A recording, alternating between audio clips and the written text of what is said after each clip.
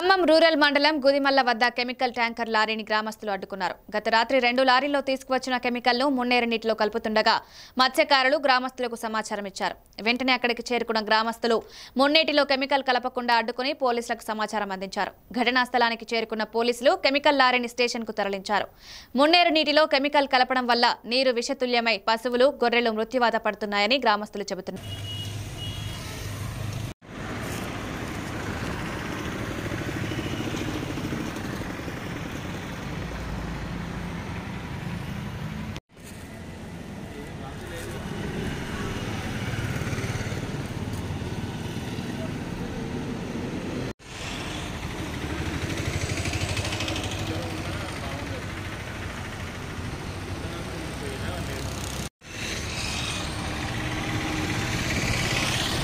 లో మనకు తిరుమల గ్రామ శివార్లో మున్నేరు దగ్గరలో ఒక ట్యాంకర్లో కెమికల్స్ తీసుకొచ్చి వాళ్ళు వాళ్ళ విషపూరితం చేస్తున్నారు వదులుతున్నారు అనే సమాచారం మీద వాళ్ళు గ్రామస్తులు దాన్ని పట్టుకొని ఆపడం జరిగింది ఆ వెహికల్లో.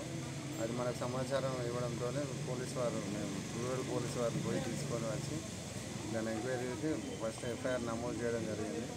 దానిలో ఫర్దర్గా కూడా ఏ విధమైన ఏమన్నా కెమికల్స్ ఉన్నాయో? అవి విషపూరితమైన మనకు హానికరం అనేది కూడా ల్యాబ్ టెస్ట్ గురించి పంపించి ఫర్దర్ యాక్షన్ తీసుకోవడం జరుగుతుంది.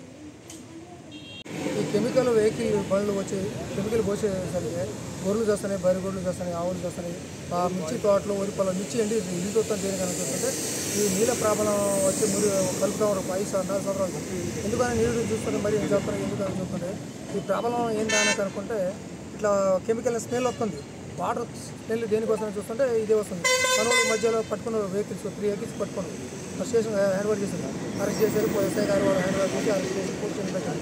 దాని తర్వాత చచ్చారు వాళ్ళు కూడా దురదలు వస్తున్న మనిషికి.